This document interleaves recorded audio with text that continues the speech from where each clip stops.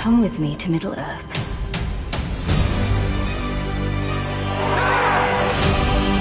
Our world was about to descend into shadow.